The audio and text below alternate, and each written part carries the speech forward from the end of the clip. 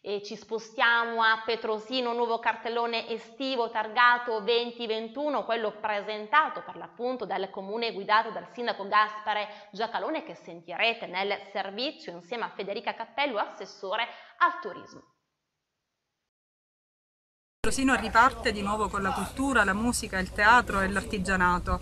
Eh, ringraziamo tutte le associazioni, i privati che hanno contribuito a rendere questo cartellone estivo ricco di eventi, eh, di partecipazione della cittadinanza e del mondo dell'associazionismo. E poi gli eventi di punta che sono rappresentati dai concerti. Il mese di agosto sarà davvero eh, un mese importante per il comune di Petrosino perché pensiamo che tutte queste manifestazioni e questi eventi possono avere davvero una buona ricaduta economica. Questo cartellone artistico quest'anno ha maggiore significato perché non è soltanto allietare l'estate ma anche in qualche modo bilanciare un periodo davvero brutto che abbiamo passato con la pandemia. Per cui braccia aperte innanzitutto ai giovani con cui abbiamo collaborato nelle scelte eh, anche degli eventi che abbiamo fatto, dei concerti, degli artisti. Sono stati molto bravi, hanno fatto un sacrificio enorme e stare rinchiusi a casa per un ragazzo, una ragazza, degli adolescenti adolescenti, insomma è davvero un trauma. E poi anche alle attività sia di ristorazione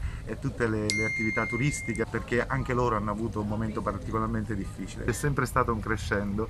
Eh, Petrosino negli ultimi anni ha avuto davvero una crescita delle presenze incredibili, tante attività che non c'erano prima e non ci saremmo mai sognati eh, sono sorte. Io ricordo a tutti che qualche anno fa, quando io comunque sono diventato sindaco in questo litorale, non c'era nessun locale e oggi invece tutt'altra realtà.